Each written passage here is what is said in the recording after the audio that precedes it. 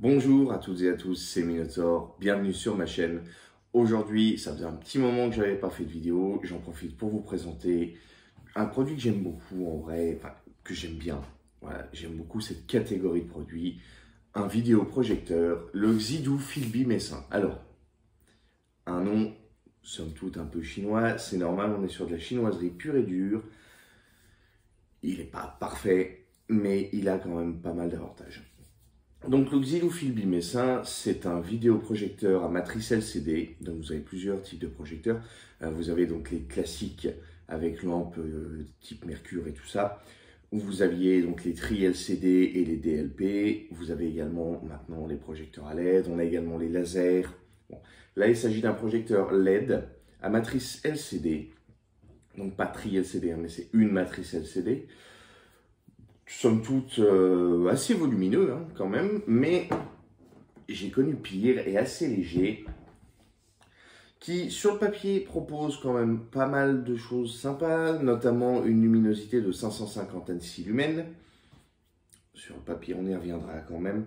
Euh, il faut savoir que les ANSI lumens, ça va être vraiment euh, une norme, normalement.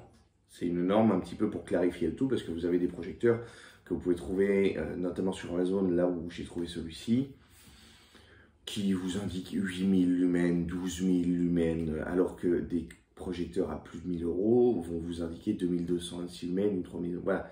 Les ANSI lumens, c'est vraiment une, norme un peu comme le HDR 1000, HDR 600, HDR 400. C'est un petit peu pour clarifier tout ça. Mais je digresse, voyons.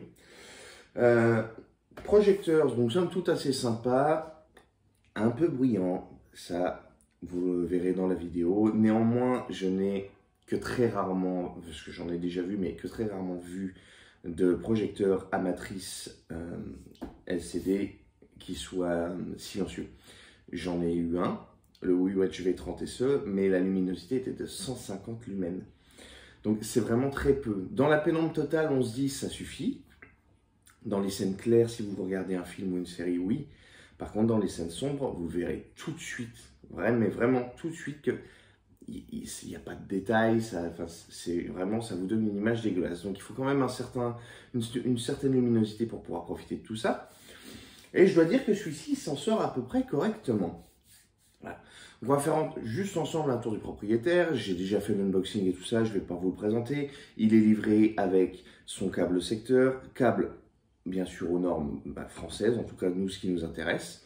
Il est livré avec euh, un câble HDMI, si je ne dis pas de bêtises, ça, je ne sais plus, et un câble AV. Bon.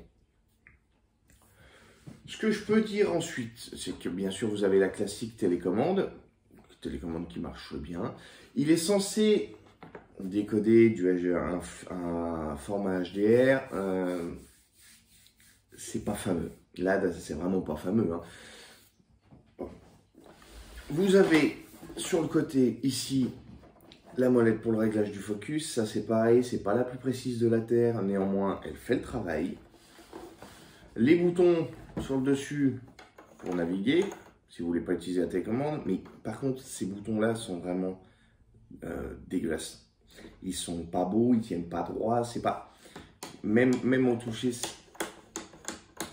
ouais, c'est pas excellent, c'est pas ça mérite d'être là. Ils répondent bien. Grille de ventilation à l'arrière avec filtre anti-poussière à nettoyer régulièrement. Les connectiques. Le haut-parleur, il est mono. Le haut-parleur s'en sort bien et permet quand même d'étouffer euh, globalement le, le, bruit de la ventilation à condition de mettre un certain volume.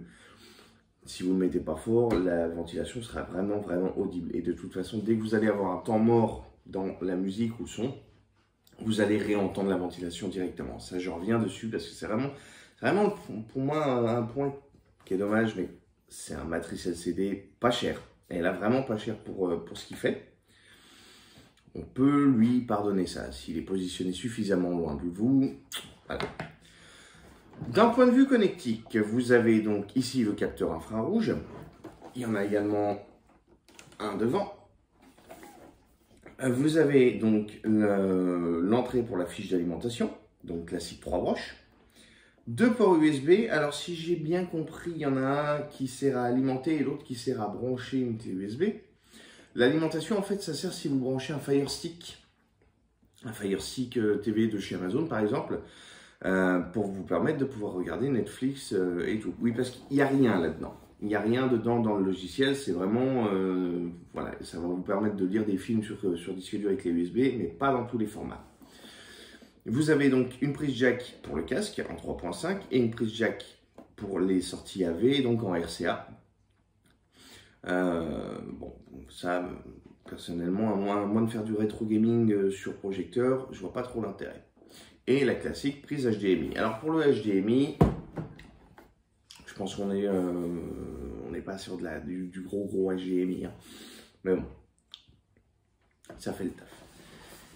Sur l'autre côté, la sortie d'air. Parce que ça, c'est l'entrée. Globalement, j'ai pas grand chose à dire dessus. Il est, en vrai, il, est quand même assez joli. Il passe bien. Il est, il est bien fini. C'est pas dégueulasse à regarder. En dessous, bien évidemment, on a un pas de vis standard de, de, trépied d'appareil photo. Donc ça, c'est assez pratique euh, quand vous le mettez sur un pied, sur un tripode. Hop, et vous le remontez quand vous voulez. Néanmoins, attention, parce que juste cette petite vis, il est c'est pas si lourd, mais assez encombrant. J'ai remarqué qu'il avait tendance à basculer, à pas rester très très droit. Bon, mettons. Et les classiques euh, notions d'usage, donc le modèle fil bimessin, la consommation 160 watts, c'est quand même pas, euh, pas rien. Hein. Et euh, l'input power, voilà. Et fabriqué où? Bah, Shenzhen. ça répond aux normes c'est très bien. Globalement, c'est un bon projecteur, je trouve, surtout au tarif auquel on le trouve en ce moment sur Amazon. Et alors sur Amazon, il est, le modèle gris, je parle, à 185 euros en vente flash, en promo, enfin ce que vous voulez. Et là, pour le coup, à 185 euros, ça vaut le coup. Ça vaut le coup parce que il n'y a pas mieux pour le prix. J'ai pas trouvé mieux pour le prix. En tout cas, quand on prend tout en compte, quand on prend euh, la gueule de l'image, parce que c'est important, hein, qu'elles ne se valent pas toutes, quand on prend la luminosité, la gestion des couleurs, il est excellent en rien, mais il est franchement bon pour son tarif.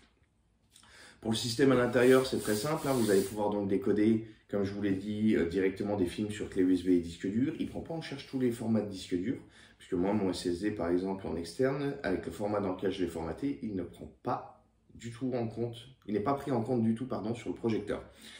Pareil pour au niveau des films, il décode pas la C3 pour l'audio. Voilà, D'où l'intérêt d'utiliser plutôt une source externe plutôt que la source interne. Je vais le brancher, je vais le projeter sur le mur. T'as un petit chat. Allez ma chérie. Et puis je vais vous montrer grosso modo ce que ça donne avec le système à l'intérieur.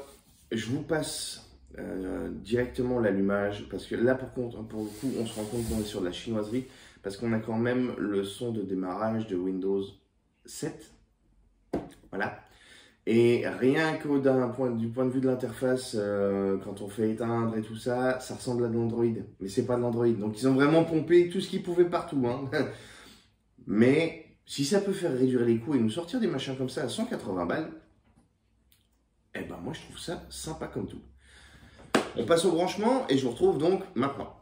Pour les besoins de la vidéo, j'ai pas fait une installation euh, telle que moi je l'aurais mis si ça avait été du, permanent. J'ai un peu moins de 3 mètres, ce qui va nous permettre quand même d'avoir une image suffisamment grande, en tout cas pour que vous puissiez constater euh, de la luminosité de l'écran et tout ça, que ça reste lisible pour vous. Néanmoins, attention, un projecteur, voilà, ça pousse un peu le truc parce que plus vous allez le reculer, plus effectivement l'image sera grande, mais plus vous allez perdre de luminosité parce qu'elle aura du mal à atteindre vraiment et à se refléter. Bien évidemment non plus, on est sur un mur blanc en toile de verre euh, classique, très moche, comme il y en a chez moi maintenant dans toutes mes vidéos. Mais voilà, ça ne devrait pas affecter trop le, rendu. Sachez toutefois que je recommande clairement l'achat, ne serait-ce que d'une toile, euh, même si c'est pas cher, si vous voulez quelque chose de pas très cher pour dans, votre piole, votre bureau, ce que vous voulez, ou même pour l'emmener dehors. Après, néanmoins, dehors, il faudra une alimentation électrique. Voilà, une toile améliorera quand même grandement le rendu, quelle que soit la toile et quelle que soit euh, quelle que soit un petit peu la distance à laquelle vous allez projeter, ça améliorera quoi qu'il arrive le rendu sur ce type de projecteur, forcément. On passe à l'allumage, vous allez voir un petit, vous allez, je vais quand même vous le mettre pour que vous constatiez euh, donc le volume du ventilateur, la chinoiserie de son de démarrage et également son temps de démarrage. C'est pas le plus long, c'est pas le plus rapide, c'est dans la norme, c'est bien.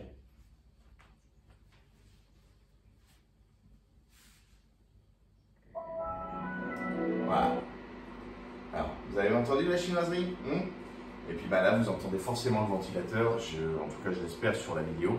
Moi, je l'entends. Après, c'est pas un ventilateur si désagréable que ça, c'est pas très, pas dans l'aigu, euh, ça reste dans la norme. Mais c'est vrai qu'il est, il est globalement fort. J'ai passé, passé le sonomètre juste à côté. On est quand même pas loin des 60 décibels juste à côté. Forcément, plus vous vous éloignez, moins il se fait entendre, plus ça devient un bruit de fond. Bon. Donc, Je vais essayer de régler un petit peu mieux la focale quand même. Voilà. Donc, on va passer outre un petit peu tout, tout ce devant quoi il est projeté. Ça, ça va être vraiment votre, euh, votre menu principal. Vous allez allumer le, projecteur, vous allez tomber là-dessus. Donc, vous pouvez le connecter en Wi-Fi pour faire les mises à jour. Super, il y en a une. Il n'y en a pas depuis. Bon, ça change absolument rien au produit. Vous pouvez vous connecter comme indiqué via AirPlay et Miracast. J'ai essayé les deux via AirPlay et via Miracast. C'est pas probant. C'est pas probant, vous avez un temps de latence de fou. Vous pouvez pas, bien évidemment, euh, vous pouvez pas caster ce que vous voulez, vous ne pourrez pas caster Netflix, vous pourrez pas caster Prime Video dessus. Ça, c'est mort de chez mort de chez mort, ça ne fonctionnera pas. Néanmoins, YouTube, vous pouvez le caster dessus, vous pouvez caster votre écran directement, mais je ne vous le conseille pas, j'ai vraiment pas trouvé ça fou. Vraiment, en termes de projection, projection, mm, oui, je ne vous conseille pas d'utiliser AirPlay, Miracast, euh, la vidéo, la musique, enfin tout ce qui est interne au projecteur, ne l'utilisez pas utilisez vraiment une source externe, un ordinateur portable, un Fire Stick. Ils font même, ils font même des, sticks comme ça avec, des, avec, Windows dedans. Moi, je serais vous, je prendrais ça. Je m'emmerderais pas. Ça rajoute à la facture, mais c'est un peu mieux pour moi. Vous avez donc l'option barre de son, ça c'est pour le faire passer donc juste en audio. Vous avez le Bluetooth, vous pouvez bien évidemment brancher une barre de son, une enceinte Bluetooth, des écouteurs, un casque mais encore une fois, on n'est pas sur le meilleur et j'ai constaté de la latence, même si en vrai, ça passe. Ça, à ce niveau-là, ça passe. C'est pas le meilleur, mais. La sortie AB la sortie HDMI. En fait, c'est toutes vos sorties. Voilà. On va faire un petit tour dans les réglages, puisque dans les réglages, là, par contre, il est assez sympathique. Quand il voudra bien répondre. Voilà. D'un point de vue traduction, on est carrément sur de la chinoiserie, mais c'est pas grave. Donc vous pouvez donc aller dans les paramètres réseau, vous avez les paramètres Bluetooth. À propos de ces classiques, ça, ça ressemble complètement à l'Android, mais je vous garantis ça, c'est pas, c'est pas je ne sais pas quelle version c'est, mais voilà. Euh, d'un point de vue euh, mise à jour, il faut aller sur version logicielle, si je dis pas de bêtises. Ah non, maintenant les systèmes upgrade. Alors voilà, ça c'est le seul changement que j'ai remarqué. Et vous faites vérifier les mises à jour. C'est le seul changement que j'ai remarqué depuis les mises à jour parce que sinon il a fallu que j'aille dans version du logiciel et autres, c'était un truc menu caché. Mais ce qui va nous intéresser, ça va être les paramètres de projection. Et les paramètres de projection, donc vous avez les modes d'installation, et c'est là qu'on voit vraiment qu'on est sur le chinoiserie, projection de bureau, arrière de bureau, vol stationnaire projection. Alors, je ne sais pas ce qu'il fait le projecteur, peut-être avec le ventilo, il Non, c'est simplement, c'est si vous projetez en avant, si vous projetez en arrière, c'est-à-dire que vous êtes devant l'écran et la vidéo est bien derrière pour projeter à l'arrière de, l'écran, ça vous pouvez le faire. Vous avez le vol stationnaire, en fait, c'est au plafond. Voilà, et vers l'arrière, c'est simplement la même chose que l'arrière, mais au plafond. Vous pouvez tourner l'image. C'est classique. C'est classique, mais euh, c'est traduit avec les clés. Vous pouvez donc, comme tout projecteur, agrandir et dézoomer l'image. Vous voyez, je peux la réduire, c'est pas un problème. Néanmoins, on va quand même perdre en qualité en faisant ça. On, va, s'ajouter un, léger flou qui n'est pas forcément nécessaire, mais qui peut quand même voilà, dépanner. Si vous descendez pas trop trop, ça ne devrait pas se voir. Vous avez la classique euh, correction trapézoïdale, mais vous l'avez également en mode 4 plombs. Et j'ai trouvé ça relativement facile et très agréable à utiliser, parce que tant que ça, ça reste un cercle parfait, vous pouvez régler tout. Et cette fonction-là marche bien. Sans trop perdre dans l'image, sans trop... Voilà. J'ai trouvé que ça, c'était bien fait, ça s'ajustait euh, assez bien. Pour le coup, j'ai pas grand chose à dire, le, trapèze se règle bien, bien plus facilement même que la focale, parce que la focale, vraiment, c'est une grosse molette, pour être précis, c'est pas génial. On va passer sur le Fire Stick TV. Je vais simplement euh, vous balancer YouTube dessus pour vous montrer un peu la puissance du haut-parleur, si ça couvre effectivement la ventilation et puis un peu la gueule de l'image. Voilà, on se retrouve sur un simple Fire Stick, euh, Fire Stick normal, pas de live, pas de 4K, le, le, le basique, Full HD, projection en plein jour, enfin en plein jour. La lumière arrive vraiment directement dessus. En vrai, il se défend bien. Il se défend très très bien. Ce que je vais faire, c'est que je vais baisser le volet. Et tout de suite, excusez-moi, tout de suite, on va remarquer que on va vraiment gagner en luminosité. On va perdre un peu en autre chose. Pour les réglages de l'image, vous avez simplement un bouton réglage d'image, il est un peu long à aller dessus. Donc, vous avez le display mode. Si je peux vous donner un conseil, c'est la première chose à faire dessus, si des, fois que ce projecteur vous intéresse, c'est de sélectionner ne pas zoomer, voilà, sur le format d'image, parce que l'automatique euh, ne passe pas bien plein écran, super tout, enfin voilà, vous allez forcément perdre quelque chose dans l'image, euh, même si c'est que du détail. Je vais vous passer tout de suite en ne pas zoomer. Vous restez donc sur le format de base de votre entrée, et comme ça vous évitez tout problème.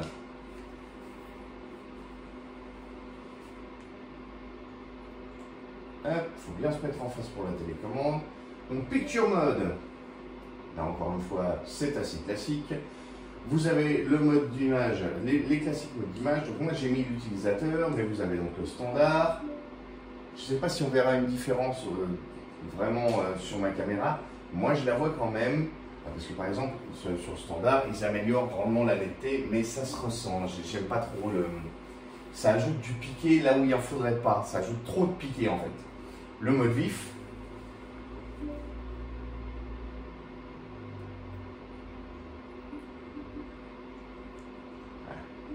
Il a du mal. Hein. Il a un peu de mal. Le mode film.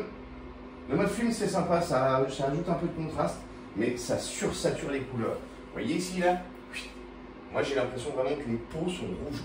Voilà.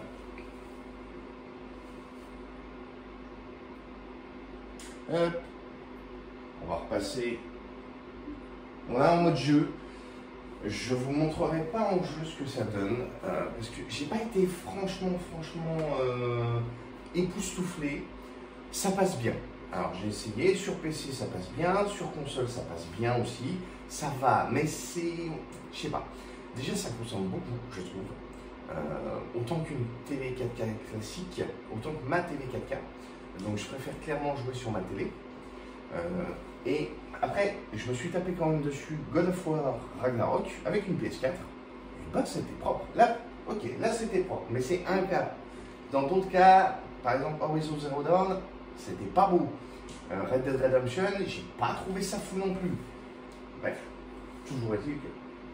Vous avez aussi le mode économie d'énergie, qui là, ça réduit quand même la sursaturation des couleurs. Mais j'aimais bien ce que j'avais mis comme réglage, moi, c'était pas loin de ça. Donc on va s'y remettre.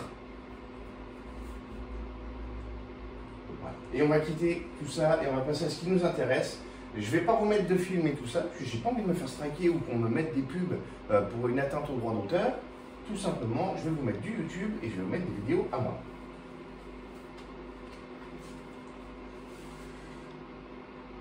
Ah bah oui, il faut que je télécharge YouTube. Donc on télécharge YouTube et puis je reviens vers vous sur une vidéo à moi et vous allez pouvoir constater un petit peu du son et de l'image. Hop. Je vais vous mettre la colle. Mais je vais vous mettre celle-là. Voilà, vous mettez jeter. Bonjour à toutes et à tous, c'est Minator. là, on est directement sur le son. Aujourd'hui, je vous présente du nouveau matériel, un écran une marque que je n'aime pas en général, Huawei. Et pourtant, euh, leur écran là, s'il s'agit du MateView GT 34. Donc là, vous avez entendu ce que ça donne avec une vidéo YouTube, bien évidemment avec une prise de son à chier, puisque je ne mets plus de micro, je ne mets plus rien. Mais, euh, mais vous pouvez constater la restitution un peu des couleurs et surtout du détail, du détail de l'image sur une vidéo YouTube. Je ne vous montrerai pas le reste, pas, comme je vous ai dit, j'ai pas envie de me faire striker. Néanmoins, c'est pas mal. On va essayer avec une musique libre de, libre de droit. Hop.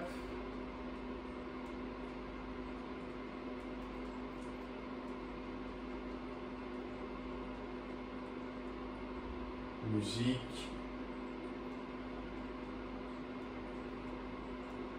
Libre. La musique libre.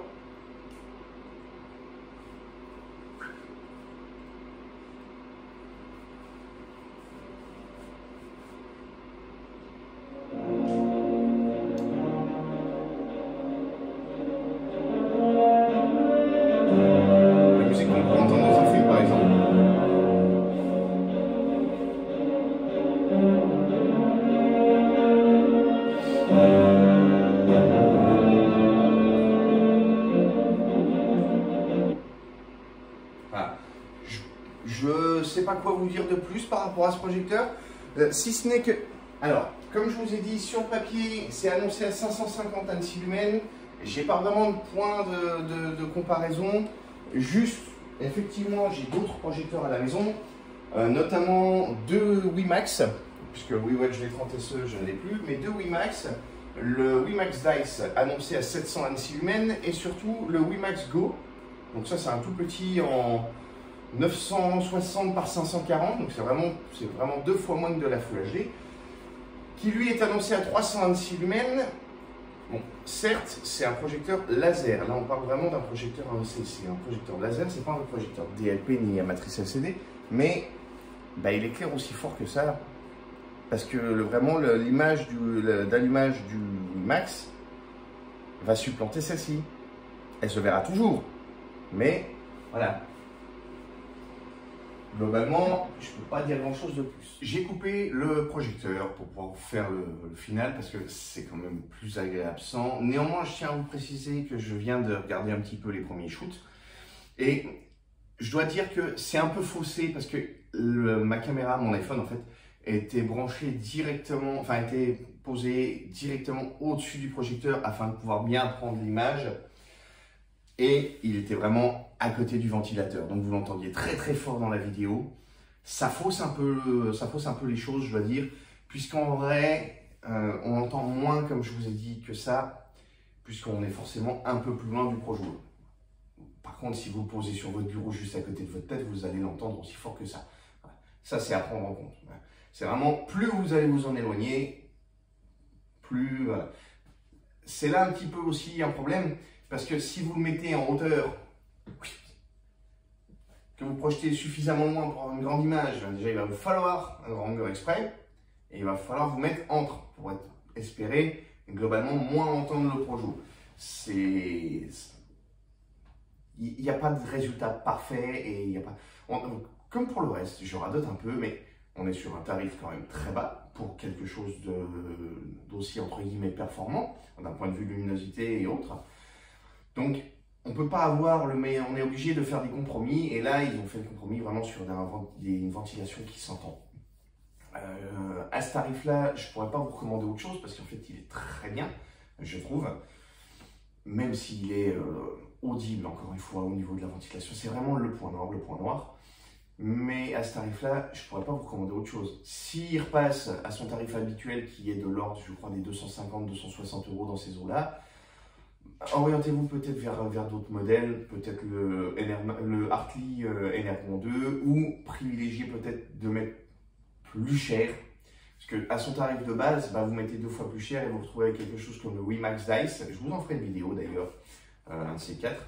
Parce que là, on est sur autre chose. On est toujours sur une ventilation audible, mais vraiment moins forte, carrément moins forte. Et surtout, dès qu'il y a un petit peu de volume avec des haut-parleurs bien meilleurs, là, et ben tout de suite, on est sur une expérience bien plus qualitative, bien plus agréable. En tout point. Mais pour un budget serré, quand il est en vente flash comme ça, moi, pour moi, c'est du tout bon. Pour moi, c'est du tout bon. Parce que connecté à un Fire Stick, on regarde ce qu'on veut là-dessus. Connecté à une Xbox, à une PlayStation, et eh ben on peut jouer dessus. Voilà. J'ai joué à la PS4 dessus, j'ai fait God of War Ragnarok, je sais pas si je l'ai déjà mentionné dans la vidéo, je radote, mais j'ai vraiment kiffé. J'ai vraiment kiffé. J'ai moins kiffé sur des jeux à, l'action dite un peu plus rapide, euh, qui sont censés passer à 60 FPS. Par exemple, jouer sur mon PC à Spider-Man, bah, j'ai moins kiffé. On était bien en 60 Hz, mais le rendu n'était pas, pas aussi smooth que sur Louis Max Dice ou que là-dessus. Le rendu est plus doux là-dessus, euh, d'un point de vue fluidité, je parle, pas d'un point de vue finesse d'affichage, parce que celui-là est moins fin, hein. on n'est pas, pas du tout sur de la Full HD là-dessus. Mais néanmoins, voilà, ça passe, ça passe. Son temps de latence est correct. En vrai, j'ai pas eu de soucis en particulier pour des jeux solo. Hein. Pour des jeux multi, euh, c'est vraiment pas à faire. Hein, voilà, privilégier un moniteur pour ça. Mais ouais, on est sur une bonne expérience, je trouve. Donc j'espère que cette vidéo pourra vous aider à en savoir plus sur ce projecteur, à passer le cap si vous étiez tenté et que vous êtes comme moi un gros radin.